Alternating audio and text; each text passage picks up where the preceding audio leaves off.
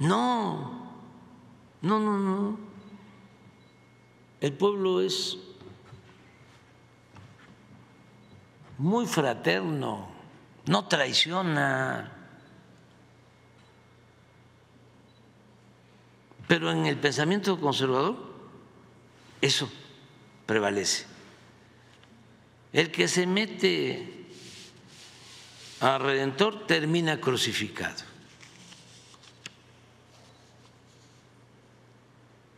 Y bueno, lo que hacen los conservadores, lo que han venido haciendo en estos tiempos, ¿no? Pueblo eh, tonto, ¿no? ¿no? Tonto es el que piensa que el pueblo es tonto. Pero siempre existe eso. Y le atribuyen al pueblo la ignorancia.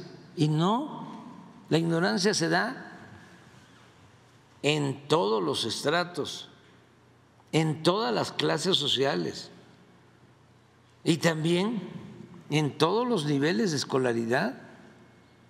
Y no confundir educación con cultura. Hay eh, doctores, es decir, quienes terminaron un posgrado, una maestría, doctorado, un postdoctorado, un eh, científico maestro emérito, un gran intelectual y en política muy neófito, mucha ignorancia, mucha ignorancia, pero se le atribuye la ignorancia al pobre.